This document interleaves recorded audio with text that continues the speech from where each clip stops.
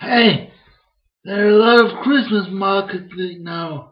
And yesterday they found a fake bomb at the Christmas market in Germantown of Potsdam. Just some nails and stuff. And it was not, not even at the Christmas market. It was in a pharmacy nearby. And now they're killing all funware at Christmas. And, oh, it's very dangerous.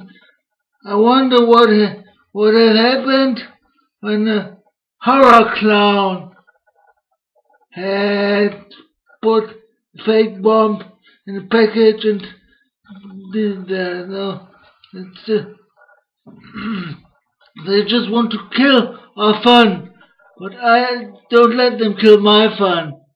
I believe in Christmas. I believe in gifts. I believe in all drugs I get and. So, uh, never mind. Just wanted to tell you this. So happy Christmas! I love you, baby! Yeah. Bye.